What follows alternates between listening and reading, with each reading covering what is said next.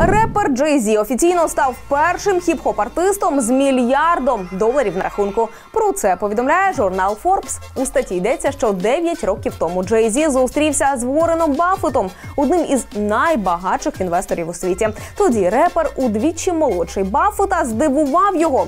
За словами Ворена, у Джей Зі є чому повчитися.